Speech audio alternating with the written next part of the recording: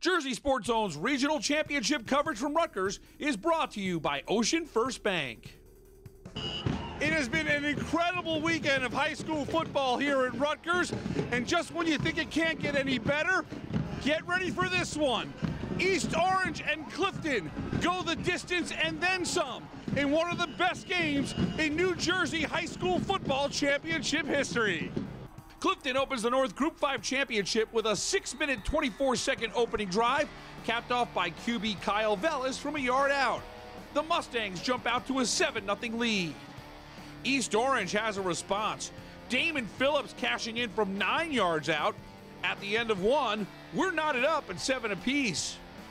In the second quarter, Clifton driving. Edwin Thomas III causes the fumble. Michael Kristoff with the recovery for the Mustangs that was big because Clifton would take the lead thanks to Ryan Lizner's 33 yard field goal. It's the Mustangs out in front, 10 to 7. Late first half, Clifton pinned at their own three. Vellis is airing it out. Donovan Swayze comes down with the pass, and he's got daylight in front of him. They're not going to catch him. 97 yards. Clifton takes a 17 7 lead. East Orange is able to close out the half with Geraldo Gibson's 28 yard field goal as time expires. At the half, Clifton's in front 17 to 10.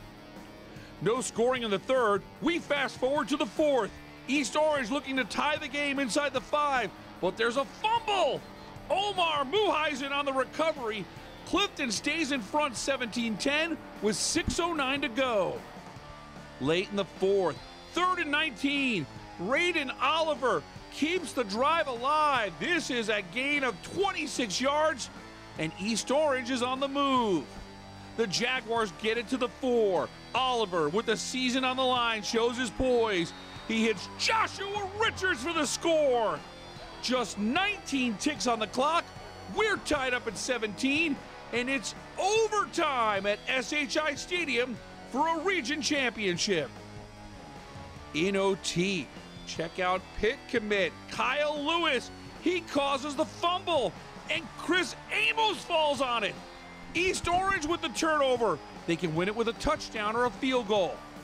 The Jaguars have a 36 yard field goal attempt to win the title, and the kick goes just left. Buckle up. We've got double overtime at Rutgers. East Orange gets the ball first in double OT. Oliver hooks up with Richards again. 14 yards. Second touchdown catch for Joshua Richards. East Orange takes its first lead of the game, 24 to 17. Clifton is down to its final play in double OT. Vellis spins away from the pressure, and Muheisen makes a first down catch. Wow, that's clutch. First and goal at the three. And the Mustangs cap it off with Bryan Feliciano from three yards out. He ran for 129 yards in this game and get ready for triple overtime. East Orange and Clifton tied up at 24. The game ultimately ends with controversy. Fourth and goal from the one. Vellis looking to give Clifton the lead. The ball is taken away by Ahmad Nalls. The Mustangs say Vellis broke the plane, but Knowles realizes the play isn't dead and he takes off to the promised land. That's a 100 yard fumble recovery touchdown. This one's going to go up to the booth for video replay. East Orange awaits its fate from the officiating crew. After review, and we've got Bedlam on the East Orange sidelines. The Jaguars, a perfect 13 0 thanks to an amazing triple overtime thriller. 30 to 24 is your final. There are still pictures that show Vellis with his knee in the end zone while holding the ball, but in the end, there was not enough evidence up in the booth to ultimately overturn the call. This was an incredible football game played by both teams. You can understand Clifton's heartbreak and frustration, but don't take anything away from East Orange. They forced overtime with a late TD pass and ultimately create two turnovers in the three overtimes. JSZ's post-game coverage begins with Ahmad Nalls, who gave his vantage point of the 100-yard play that ultimately gave East Orange the title. I, I realized I had it because he started stretching the ball out, and I just grabbed it and ripped it. But I thought they was gonna call it dead, so I brought it out with my hand. But then I was like, go, go, go, and I just started running. Words can't even explain how I feel right now.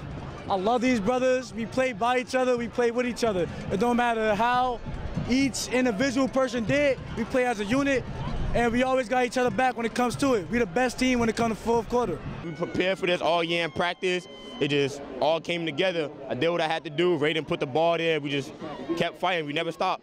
Game was close. A lot of people thought we was gonna lose. Even some of our fans probably thought we was gonna lose, but we just kept fighting. I knew it was gonna come down to this because Clifton's a good team. But also I knew that I got a bunch of dogs on my team, sharks in the water. And at the end of the day, anyone, anyone, we're willing to play them. And we don't, we don't and that's not conjecture, that's not ego. That is truly, truly admiration because you always want to play the best. From Rutgers University, I'm Rich Chrampanis for JerseySportZone.com.